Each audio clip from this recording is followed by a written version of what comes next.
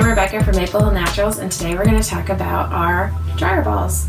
We offer 100% wool dryer balls made only from domestic wool right here in the United States, and we offer them in sets of 2, 4, and 6. Two for small loads, four for large, medium loads, and six for large. The more you have, the better your results. The results that you get from these amazing little balls are they replace your dryer sheets, fabric softener, and help your clothes dry up to 25% faster.